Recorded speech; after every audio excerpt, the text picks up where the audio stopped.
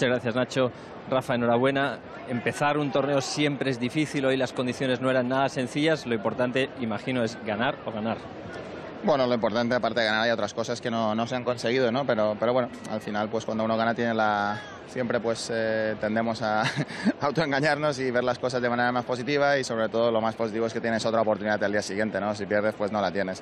O sea que, bueno, lo mejor, más o menos, ha sido que dentro de, lo, de que no ha sido un partido agradable, pues eh, se ha encontrado la manera de, de, seguir adelante. Creo que la actitud ha sido más o menos correcta dentro de, de que las sensaciones no lo eran y a partir de ahí pues se ha, se ha, trabajado para intentar seguir.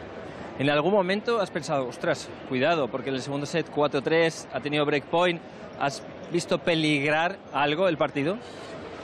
Todos los partidos peligran, ¿no? Y más cuando pierdes el primer set, ¿no? Pues el segundo set con 4-3 y breakpoint y un resto que no se le ha ido de mucho, la verdad, pues eh, bueno, cualquier cosa podría haber pasado, ¿no? Eh, también es verdad que en el segundo set, tanto en el primero, eh, las oportunidades han sido infinitas para irme dos breaks arriba en el comienzo del segundo set, en el primero eh, sacando para el set he hecho un juego desastroso, después he, he, tenido pelota de set en el siguiente con en el siguiente juego que él sacaba y he pegado también un drive muy malo a, a, la red que la he cepillado.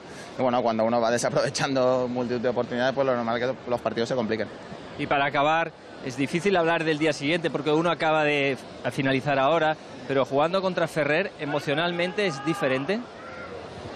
Bueno, es un partido eh, evidentemente siempre bonito contra un muy buen amigo y contra uno de los mejores jugadores que, que ha tenido este deporte pues en, en los últimos 10-12 años, ¿no? O sea que, que, bueno, es verdad que es un día eh, aún un poco más especial porque es su último eh, trofeo con de Godó. Pero, pero bueno, al final es un rival de, de, máxima exigencia, lo he demostrado hoy de la manera en la que he jugado y, y tengo que mejorar. Muchas gracias por tu palabra, Rafa, como siempre. Y está claro, respeto máximo entre Ferrer y